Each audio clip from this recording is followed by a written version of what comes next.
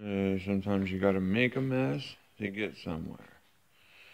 I got these ripped apart in the middle of cleaning them. They're starting to look pretty decent. Got the bottoms off. Middle of spraying them because they're fucking nasty. Well, that silver one, that one's done, but the black one needs rehit. But yeah, you gotta make a mess to get somewhere sometime. Peace out.